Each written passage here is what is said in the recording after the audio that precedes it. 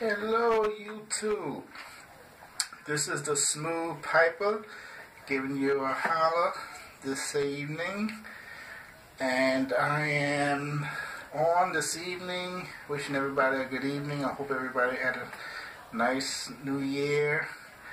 And um, well, I didn't get a chance to do my top 10 tobaccos for 2017, so I'm going to try and do them now. Uh, I am smoking and one of my basket pipes that I've had. I think this is one of the third pipes that I brought, you know, when I first started smoking. And uh, it's a nice little, you know, bowl. And, um, you know, nice shape. I like it a lot. And uh, I'm smoking in it some Irish Dew, and it's very nice. I'm enjoying this very much uh, with the chocolate and the uh, little fruitful, you know, notes in it. It's really nice. And the whiskey. Uh, yeah. And it doesn't have too bad of a, you know, nicotine hit to it either. It's very nice.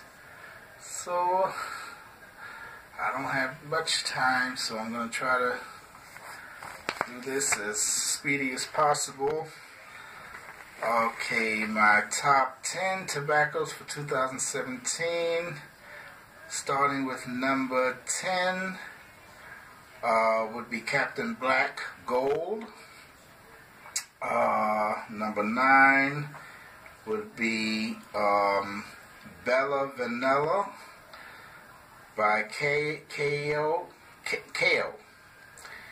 Uh, number 8 will be Boswell's Christmas Cookie.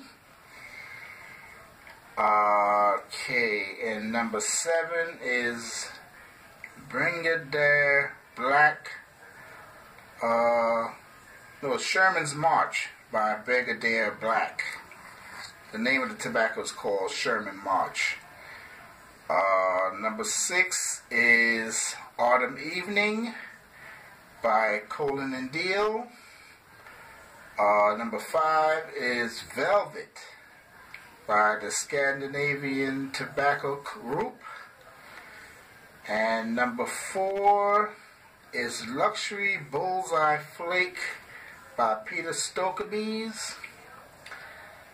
Uh, number three is Sleepy Hollow by Strauss Tobacconists. Number two is Elizabethan Mixture by Dunhill. And number one is my all-time favorite so far is Blackwood's Flake by McClelland's. And I have another one that I'm going to add to this I meant to put it in, but I didn't write it in, so you might as well say it's a top 11.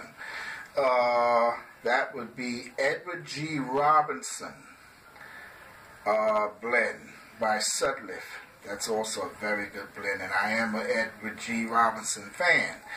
So, uh, everyone, that is my top 10, or top 11 rather, for 2017. Uh, I'm sorry, it's just I'm just getting it uh, uploaded, you know, to put up. So uh, all these blends are very good. I love them very much. All of them are very good. I really had enjoyed them for 2017, and I'm